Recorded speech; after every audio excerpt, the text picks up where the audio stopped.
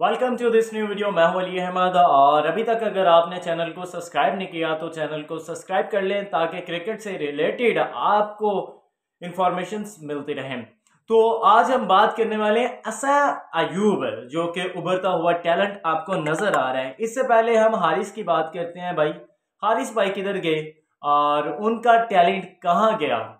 क्या मतलब ये पाकिस्तान क्रिकेट में ऐसा ही होता है अगर किसी प्लेयर की एक आधी बारी जो है वो खेलता है इनिंग खेलता है, वो फ्लॉप हो जाती है, फिर पाकिस्तानी क्रिकेट में ऐसा क्यों किया जाता है?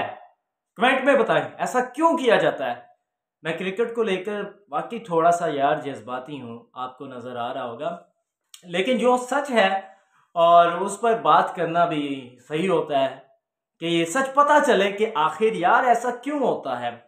सैम अयूब अब इस बंदे की जो खेलने का स्टाइल है, वो भी अच्छा है और शतक भी मारता है, छक्के भी मारता है, चौके भी मारता है, बारी भी अच्छी खेलता है और इससे पहले भी पाकिस्तान में काफ़ी टैलेंट नज़र आया। लेकिन भाई, एक आधा मैच फ्लॉप होता है और चलो भाई, निकलो तुम, अपने रास्ते निकलो, आराम करो रेस्ट करो।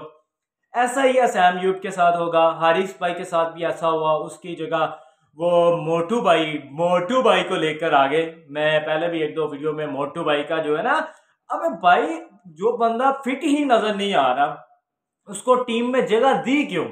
बताएँ। जो बंदा नज़र ही नहीं फिट आ रहा, उसको टीम में भला इन लोगों ने जगह दे दी। अब जो स्पेशल टैलेंट नज़र आ रहा है, असैम अयूब में, ये भी भाई फ्लॉप हो जाएगा। फ्लॉप हो जाएगा, पक्का फ्लॉप होगा, पक्का फ्लॉप होगा। लिख लो। मेरी वीडियो को सेव कर लो। अगर ये फ्लोप ना हुआ, तब बताना। ये पक्का फ्लोप होगा, इसका रीजन है। अब ये बंदा शतक खेल रहा है, अच्छी बारी खेल रहा है अच्छा रन रेट दे रहा है, सब कुछ अच्छा है। लेकिन इस बंदे की एक बारी जो है ना फ्लॉप होने दो, एक बारी एक बारी फ्लॉप होने दो। इसको जो है ना कहेंगे, भाई, तू जा घर तू थक गया, तू बुरा हो गया, तू आराम कर। तेरे बस का काम ही नहीं क्रिकेट खेलना। ऐसा होगा, ऐसा क्यों होता है? ये चीज़ है, पाकिस्तान क्रिकेट में हो रही। ऐसा नहीं होना चाहिए, ऐसा बिल्कुल भी नहीं होना चाहिए। आपको क्या लगता है ऐसा हो रहा है या नहीं? कमेंट में ज़रा बता दो मुझको। बताओ, कर दो कमेंट। किसको?